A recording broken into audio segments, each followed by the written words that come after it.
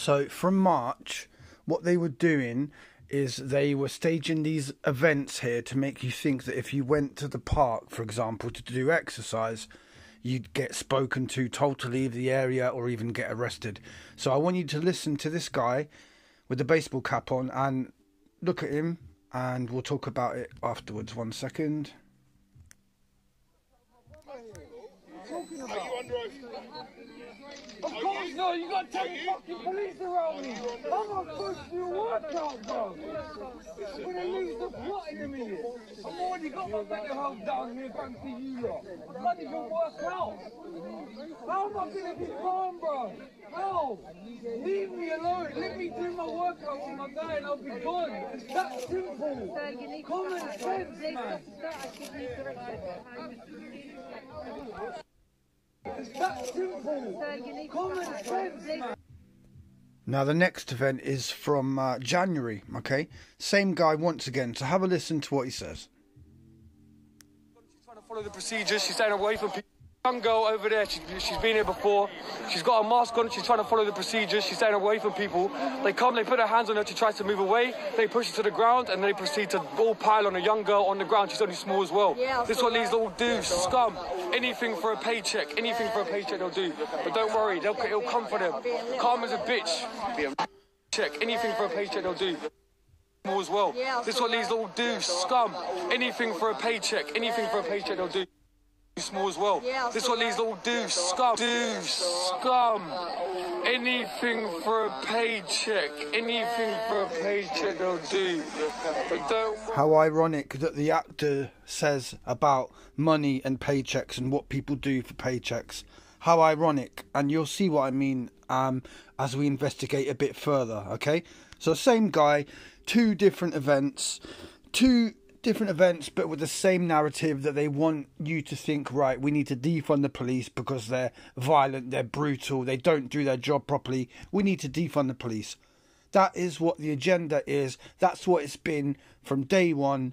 And people like this are paid, um, are paid to do it. That's what it seems like. Okay, that's what it seems like. So let's have a look at a bit more evidence. So here he is again on the right hand side with that baseball cap that you saw. And I want you to notice who he's with.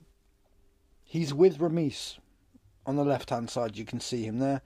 And make note of the blonde guy as well next to him as well, who is also uh, someone who appears in all of Ramis's videos as well. Okay? So that's one place. Here he is yet again, our man here, but without the Arsenal cap. This time it's at the staged event where they invaded the ITV building. Yeah? So here he is, part of that, dressed in black like they were all told to. Um, see the guy with the Beatles t shirt and the camera? We'll look at him another day, okay? But just remember him. So, yeah. That's where we originally saw him, mouthing off at the police, saying that all he wanted to do was exercise with his guy, yeah? And that they were affecting his mental health, yeah? Here he is at another event, mouthing off at the police. Now, I would show you the video to this, but I can't remember which one it is. But you can see he's wearing the Arsenal cap. Um, it's the same video that I showed you where Darren Nesbitt was pretending to escape the police. Okay, so yet again another event. Here he is, and the guy on the left looks like the guy from that video I did the other day who kept saying fascism, fascism, tyranny, fascism. Looks like him. So wouldn't it be a coincidence that two suspected actors are there together? Here he is again at another staged event um, where they barged through that fire exit. So you can see him there on the left showing his innocence by putting his hands up. How many times do you see the actors do that? Put their hands up to make out like, oh, please, please don't hurt me, police. I'm just an innocent young man with a bottle of water in my hand. And um, here he is again. Now, this photo, you can see how tall he is, right? Now, what you'll notice about people like Subject Access and um, Resistance GB, very tall, very tall. And now, that is a very good quality to have if you're police, if you're part of crowd control, surveillance, because obviously you can be seen from a distance and you can see over the top of people as well. So it would make sense that they use people that are tall like that. Yeah. Now this is where it gets interesting. Okay. Remember I showed you him with Ramis. Well, look, here he is in Ramis's bloody music video. Okay. See him there? Now, isn't it funny that he's there with that bald guy who was also there yesterday at the event yesterday? Okay, so isn't it funny that our man here um, is chosen to be part of Ramis's music videos? I mean, you know, it's almost like they all know each other and they're all connected like I said, here's where it gets interesting. So here he is next to the man who threw a glass bottle at the head of the police officer and put and was in the Daily Mail. So our man here, who was saying about the police will do anything for money, is standing next to this man who throws glass bottles at people. Okay, so this man on the right was moaning about the girl getting um, brutally attacked by the police, yeah? Um, but he's fine to share the same screen with this man on the left who dresses like that. For one thing, he dresses like that in real life, goes on the protest like that, drinks beer on the demos, and also throws said glass bottles of beer at policemen's heads and then it makes the Daily Mail, and then they discredit the whole anti lockdown movement because of this moron. So, our man here on the right, the Arsenal guy who was moaning about what people do for money and moaning about violence, is stood next to the man who wears that shit on, on his face and who throws glass bottles at people and makes the Daily Mail. And look, here he is in the official cover of Ramis's video, whatever you want to call it. And look how he's literally sat next to Ramis.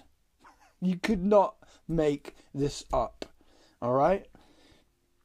You couldn't. Look, there, there's, you know, there's another picture. Yeah? So, literally, this man on the right is connected big time to all the actors. He's connected to Ramis. He's connected uh, connected to the gym guy. He's connected to the guy who dresses uh, like a um, like an idiot with a mask on and throws glass bowls. Yeah, so that's a company that this man keeps. Okay, now here's a cherry on top of the cake. All right. Now here we have old David Icke.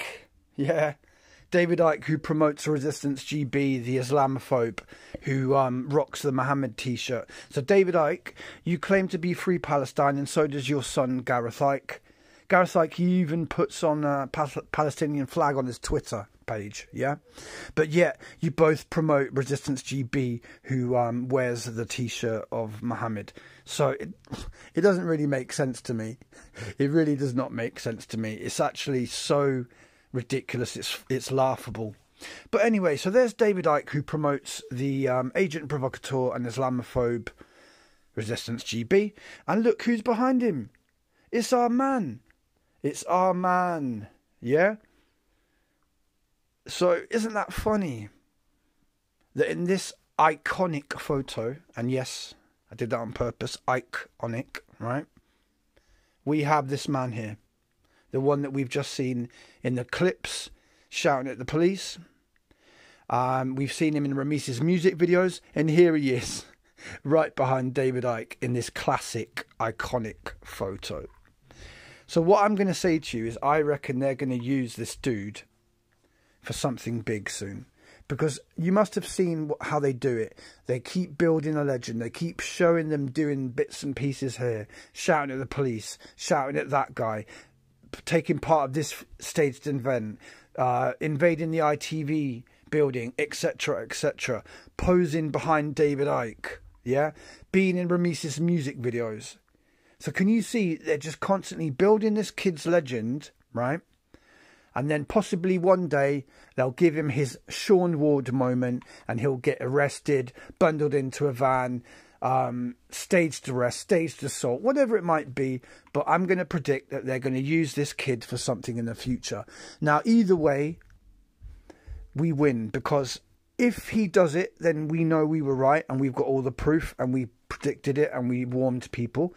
And if we're wrong, it's probably because we've exposed them so much they don't want to use him. So therefore, what we've done is we've retired people. That's what we got to do. Keep exposing them so they can't be used because they're too they're too known.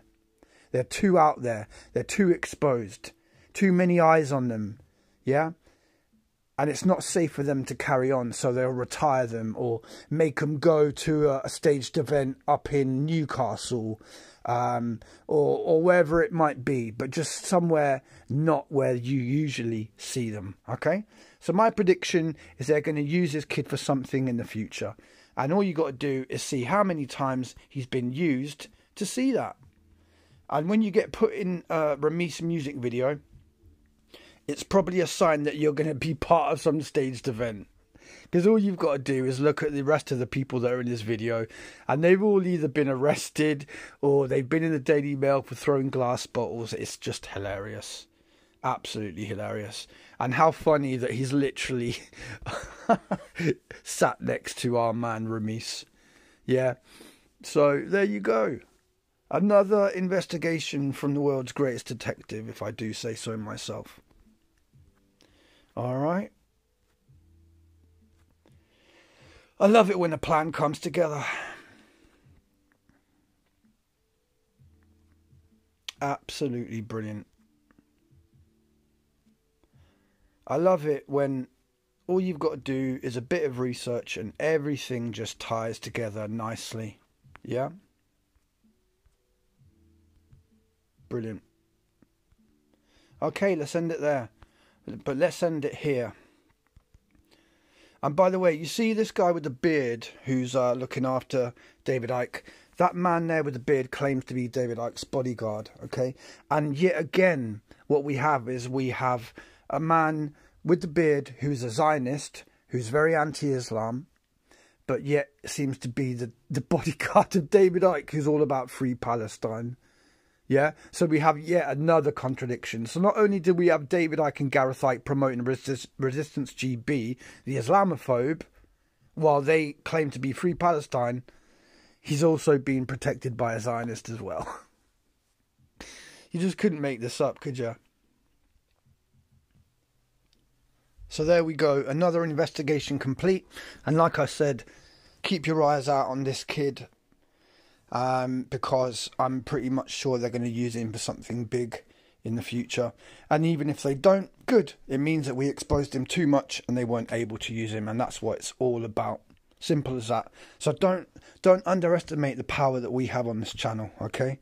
We are making history and there's nothing they can do to stop it. And also what I would say is that we don't wish violence or harm upon any of these people, even though they deceive us and they deceive their own brothers and sisters. We wish no harm on them. We are non violent. I would rather they just came to their senses and then expose the whole uh, the whole scam. Okay, so again, I repeat, I wish no harm on the actors, the crisis actors, even if you've been deceiving your own brothers and sisters for decades, like some of you have. I wish you no harm, all I wish you to do is do the right thing and expose the whole scam. Okay? Expose the whole controlled opposition. And that's that's all you need to do. All right? So peace and blessings to everyone. Where there's darkness, we shine our light the brightest. Take care of yourselves and of others. Peace for now.